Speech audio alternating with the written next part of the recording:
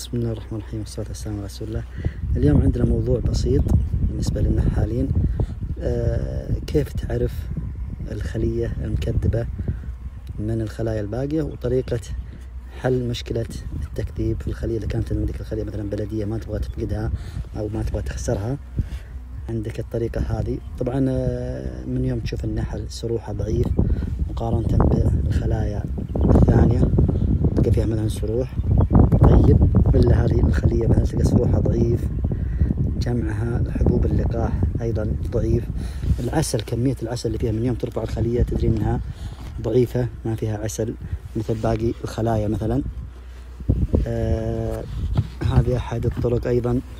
إذا فتحت على الخلية النحل يصدر صوت للجنحان ويرفع آه، ذيلها إلى الأعلى.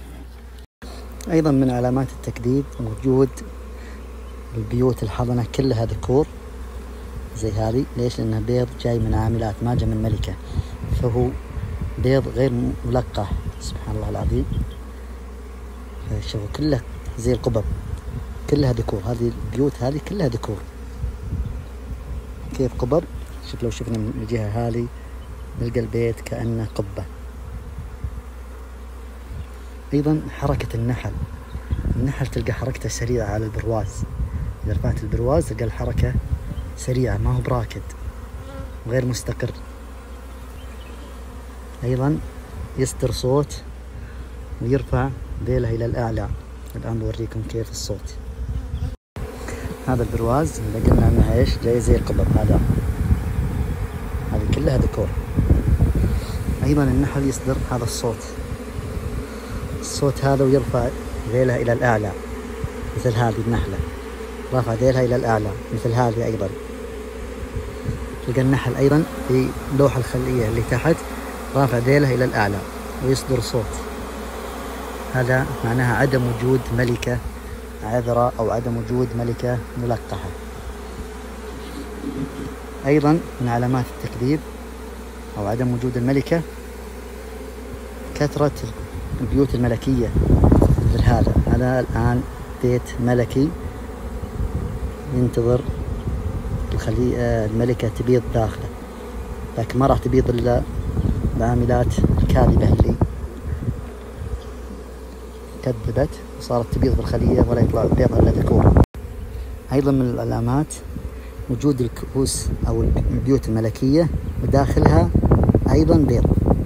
لو في ملك ملقحة ما باضت داخل العيون هذه تطلع ملكة جديدة إلا أثناء التطريد. وأثناء التطريد طبعا تكون الخلية مكتظة من النحل البراويز فل. لكن في هذه الحالة لا. أيضا من أقوى الحالات هو وجود أكثر من بيضة داخل العيون السداسية خصوصا فوق الأعلى. تلقى في العين السداسية أكثر من بيضة.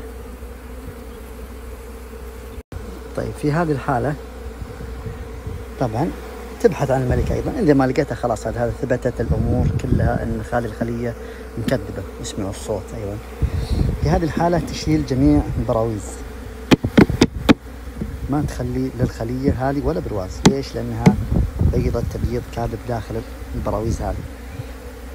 هذا الأمر الأول أنك تشيل جميع البراويز بعد ما شلنا البراويز كلها نرش النحل الموية علشان يثقل لأن راح نكب النحل كله على فرشة بعد عشرين أو ثلاثين متر عن المنحل. لما رشينا النحل موية شوفوا شلون خمد النحل. النحل الآن خامد. ناخذ الخلية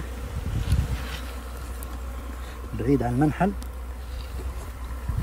والآن نطق الخلية على هذا البساط علشان النحل علشان النحل السليم راح يرجع لموقعه الأول. لأن الخلية هذه اللي طقيناها الآن ونزلنا النحل كله بنرجع الخلية لموقعها وبيرجع النحل السليم.